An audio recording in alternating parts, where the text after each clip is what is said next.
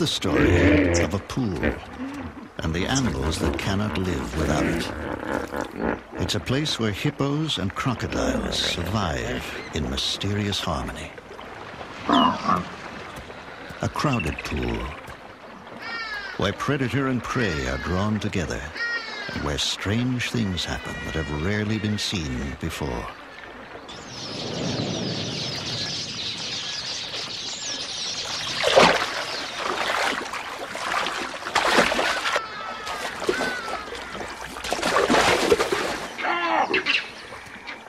Pool, thirst can be dangerous, and drinking becomes a deadly game of chance.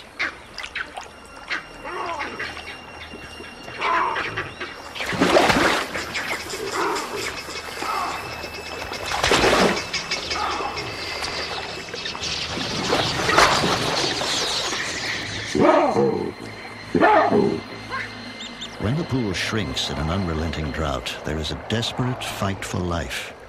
A wild anarchy takes over that only the fittest can survive. Here, in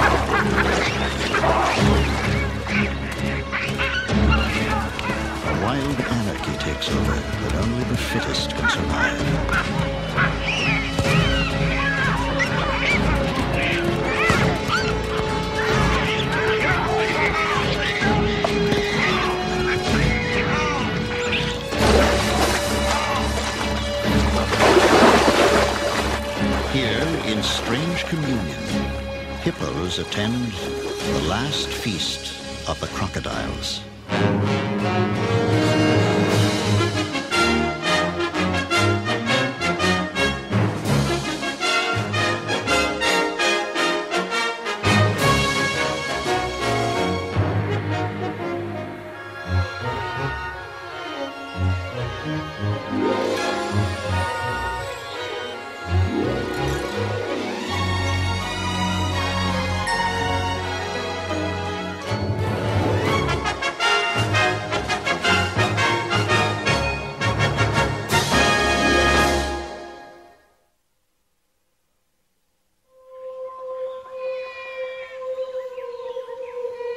River in Africa.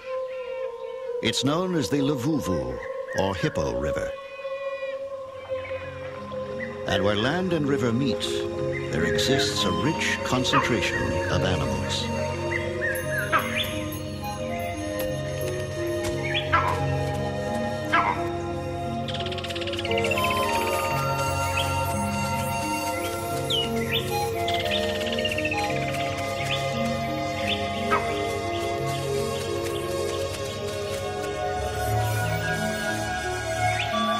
For countless years, this river has sustained life in the northern reaches of South Africa's Kruger National Park. When good rains have fallen, there is abundant water for all. But this year, little rain fell. The river dwindled to a narrow channel and finally stopped flowing. The pools that remain in the riverbed are life-sustaining oases.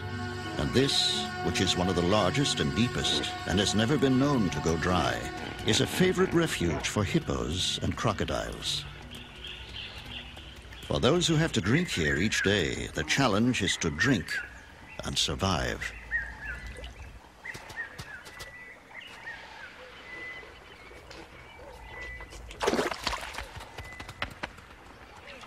With over 60 crocodiles congregated here, caution becomes the first rule.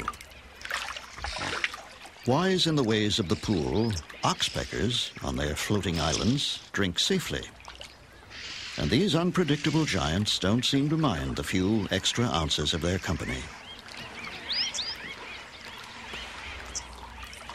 But more extraordinary is this young crocodile, the smallest in the pool, who's become a regular passenger and is possibly safer basking on the surprisingly tolerant hippos than with its own kind.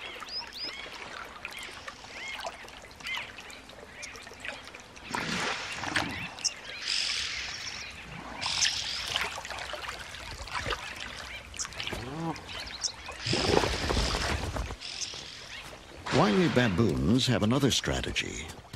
They dig pits at the pool's edge and drink the seepage water rather than risk a croc attack. In contrast, this female impala is so stressed by thirst she's beyond caution.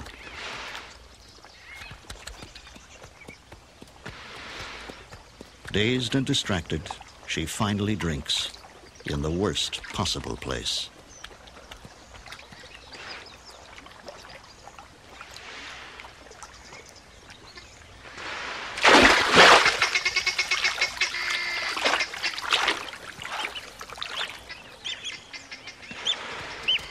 Crocs aren't the only problem here. These impala have run afoul of a white-crowned plover, whose eggs are in a depression in the sand.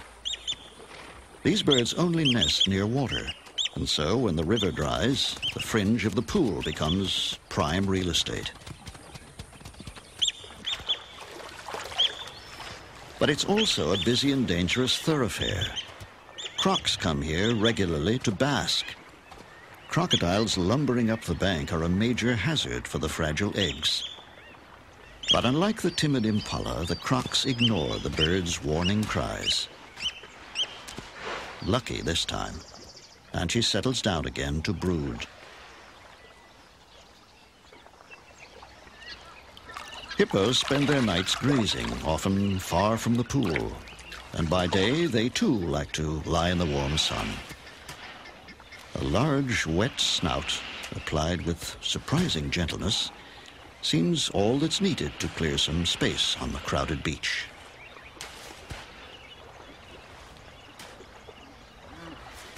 There's no hurry. We're all relaxed and easy here, and the great reptiles gradually respond to gentle nudges until all are accommodated to their liking.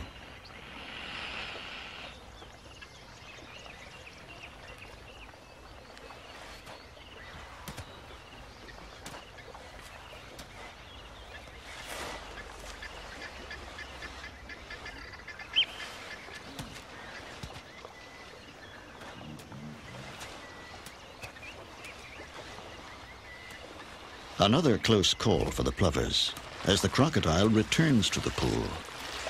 But it's all just part of the price for a good waterfront site.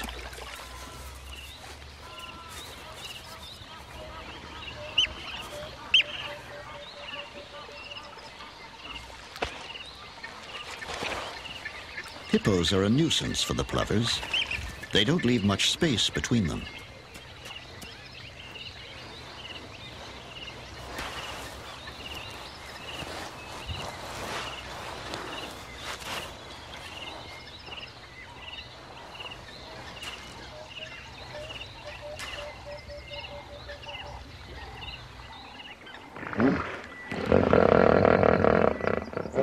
The rains that usually revive the river are late this year, and the water level in the pool drops rapidly. Fishing birds move in and find good pickings among the fish trapped in the shallows.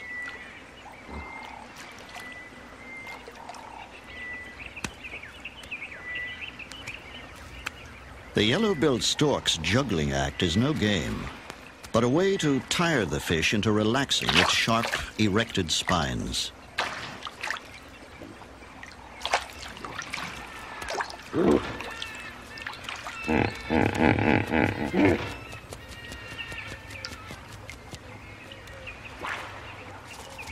Crocs eat fish too. They're also cunning thieves who deliberately harass the birds into dropping their fish.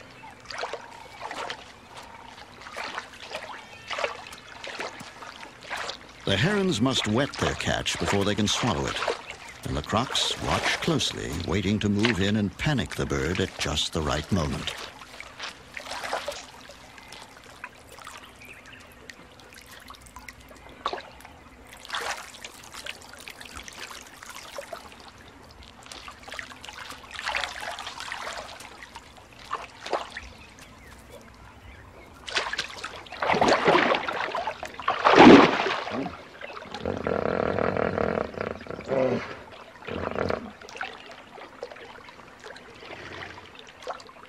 Sometimes these water birds appear to live a charmed life and to be mysteriously immune from attack by crocodiles. But bird and reptile understand each other well. and the crocs seem to know these birds are just too alert to be easily caught.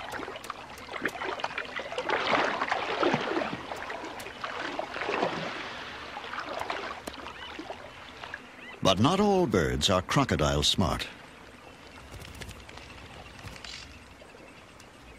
Green pigeons don't often drink.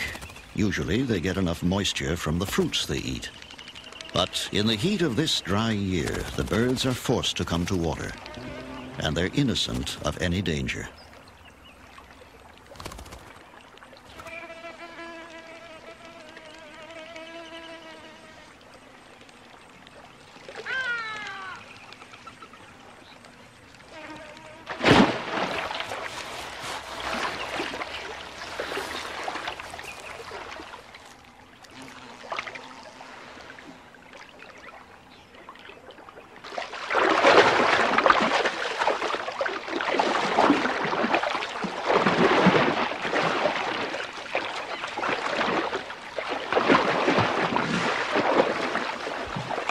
The sight of crocodiles spinning in a feeding frenzy is enough to frighten most animals away. But as the crocs tear apart an Inyala bull, something amazing happens. A hippo moves in and begins to mouth and lick the bodies of the feeding crocs.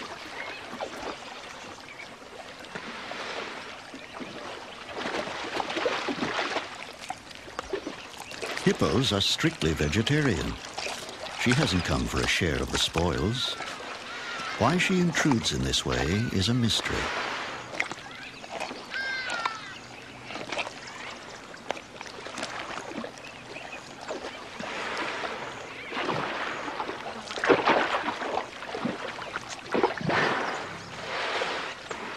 She is more powerful than the crocs, and her dominance over them is absolute.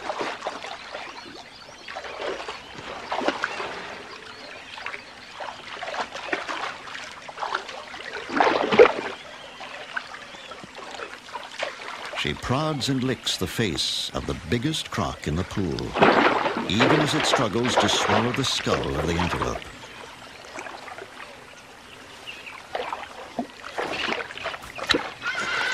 And then, as if her curiosity has been satisfied, she loses interest and leaves the crocs to their feast.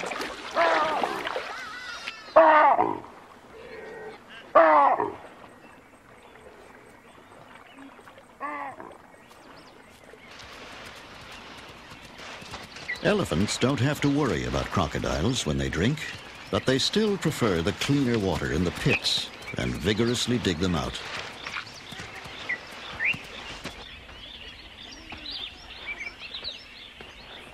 In the river bank near the pool, a large colony of nesting bee-eaters are feeding their young. They must forage continually in the hot sun to satisfy their needs. To cool off, every afternoon they fly over the pool and dive for their drinks.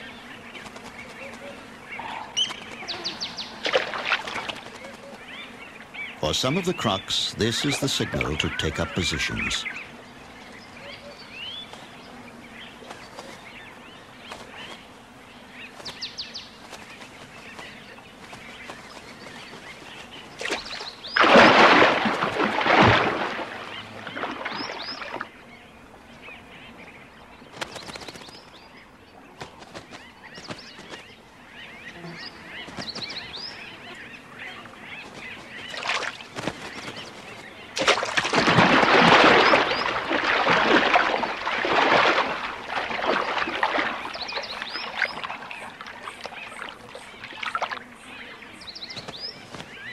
The odds are heavily in favor of the bee eaters, and most survive the croc strikes.